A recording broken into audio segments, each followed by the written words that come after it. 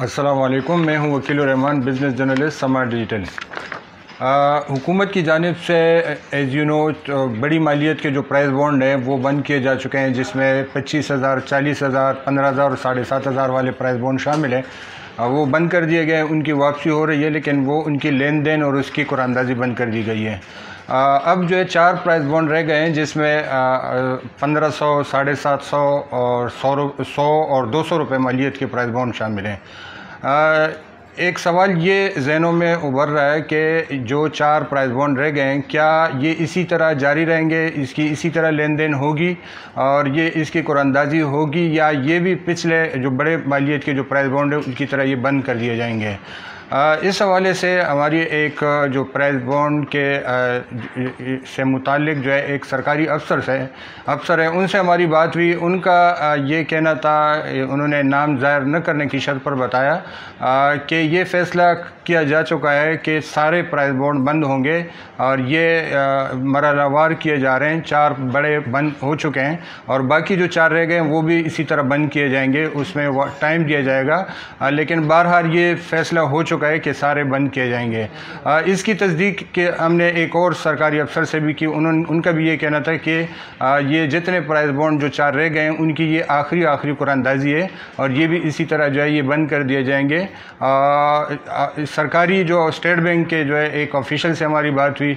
आ, उनका ये कहना था कि बहरहाल अब ये सरकारी तौर पर वो इन्होंने इसको एंडोज नहीं किया क्योंकि ये इसका बाकायदा एक ऑफिशियल ऐलान किया जाएगा तो उस उसकी एक अहमियत होगी। लेकिन बहरहाल हमारी जो सोर्स है वो एक एथेंटिक सोर्स हम इसको समझते हैं क्योंकि उन्होंने पहले जब चालीस हज़ार के प्राइस बॉन्ड बंद हो रहे थे तो उस वक्त भी उन्होंने तकरीबन दो हफ़्ते पहले कहा था कि ये बॉन्ड बंद हो रहे हैं और वो बाद में बंद हुए बहरहाल तो ये एक इन्फॉर्मेशन आप तक पहुँचानी थी। एक सवाल ये भी पैदा होता है कि ये प्राइस बॉन्ड बंद हो जाएँगे तो उसके बाद क्या होगा?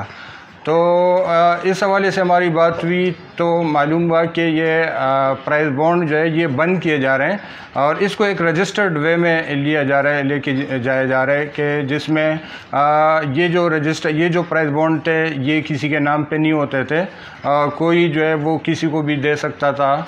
आ, लेकिन ये अब उसकी जगह प्रीमियम रजिस्टर प्रीमियम बॉन्ड्स जो है वो इंट्रोड्यूस किए जा रहे हैं। जो बाकायदा रजिस्टर्ड होंगे किसी के नाम पे रजिस्टर्ड होंगे। वो अगर ट्रांसफ़र होंगे तो उसका भी एक बाकायदा एक सरकारी एक जो है एक ऑफिशियल एक तरीक़ाकार उसी के मुताबिक होगा। तो ये उसके उस तरफ़ लिया जा रहा है और अब तक जो है इसमें जो बड़े प्राइस बॉन्ड हैं चालीस हज़ार और पच्चीस हज़ार के प्राइस बॉन्ड जो है वो अब तक इंट्रोड्यूस भी किए जा चुके हैं। और आगे जो है वो जो बाकी जिस तरीके से बाकी बंद होंगे तो उसकी जगह भी जो प्रीमियम बॉन्ड है वो उसकी जगह ले लेंगे। आ, ये प्राइस बॉन्ड जो है ये लोगों के पास सेविंग का एक बड़ा ज़रिया था। आखिर क्यों इसको बंद किया जा रहा है? ये जो है एक तो इसके बारे में जो है ये लोगों के जहनों में ये आ सकते हैं कि आखिर इसकी, ये क्यों बंद किए गए लोगों से एक सेविंग का जो एक बड़ा ज़रिया था, यूँ क्यों ख़त्म किए जा रहे हैं? तो ये बुनियादी तौर पर ये एक तो आईएमएफ की तरफ़ से एक दबाव था और ख़ुद हमारे अपने बी की तरफ़ से भी ये इस तरह के सजेशन आए थे कि हमारी जो मीशत है जो इकानमी है, उसको डॉक्यूमेंटेड इकानमी में जो है वो कन्वर्ट करने के लिए वो सारे जितनी भी हमारी मनी से रिलेटेड जो चीज़ें हैं जो भी इंस्ट्रूमेंट है उन सबको जो है वो एक डॉक्यूमेंटेड उसमें लाने के लिए आ, वो उस वो करना चाहिए। उसमें प्राइस बॉन्ड भी थे कि प्राइस बॉन्ड जो है वो क्योंकि वो किसकी मिल्कियत नहीं होती लोग जो है उसका गलत इस्तेमाल करते हैं। आ, ब्लैक मनी को जो है वो छुपाने के लिए प्राइस बॉन्ड इस्तेमाल करते हैं। इस इसके इनाम को जो है वो जो इसके इनाम निकलते हैं वो उसके जो है मिस होता है कि इनाम किसी का निकला और वो प्राइस बॉन्ड किसी ने ख़रीद के जो है किसी ऐसे बंदे ने ले लिया जो जो ब्लैक मनी अपना वाइट करना चाहता है। तो ये आईएमएफ और एफबीआर की तरफ़ से एक वो कंसर्नस थे। इसके अलावा एफएटीएफ की तरफ़ से भी ये एक जो है उनकी तरफ़ से वो डिमांड आ रहा था कि जो भी फाइनेंसिंग जो है वो टेरर फाइनेंसिंग की जो भी रास्ते हैं, उन सबको जो है वो रोकने की ज़रूरत है। और जिसमें ये भी ये पॉइंट आउट किया गया था कि ये प्राइस बॉन्ड भी जो है वो इस्तेमाल हो सकते हैं।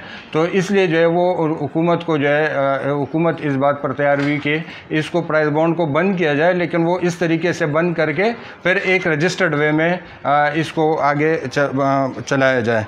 तो ये अब तक जो है वो जो चालीस हज़ार जो बड़े टोटल आठ प्राइस बॉन्ड जो है वो मार्केट में चल रहे थे, जिसमें जो है वो चार जो है वो बंद हो चुके हैं, जिसमें चालीस हज़ार, पच्चीस हज़ार, पंद्रह हज़ार और साढ़े सात हज़ार वाले।